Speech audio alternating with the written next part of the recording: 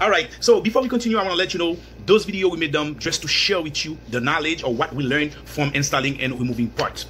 So I want you to subscribe to the channel right now.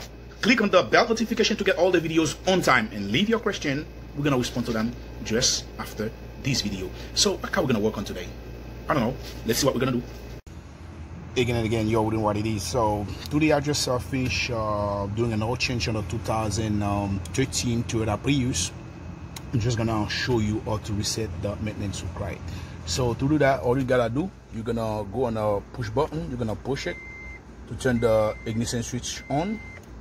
Okay when it's on you're gonna see on the screen right there it's on trip a. If it's not on trip a you're gonna use this trip button to switch it to trip a.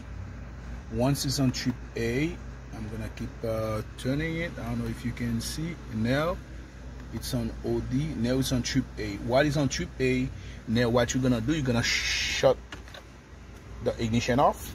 You're gonna press the this button right here. And while you're doing that you're gonna press and hold it. And after that you're gonna press this button. I'm gonna see if I can do it with one hand. You're gonna press this. And after that you're gonna press this to turn on the ignition. Once you turn it on you're gonna see the maintenance required is moving until this reset. It's a complete reset. All right? That's uh, when you see complete reset everything is done. It is what it is. This is how to do it all right